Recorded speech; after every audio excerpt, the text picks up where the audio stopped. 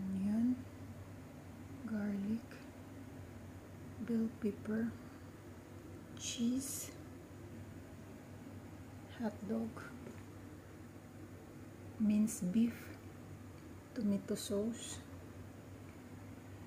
and uh, pasta. Salt and pepper to taste.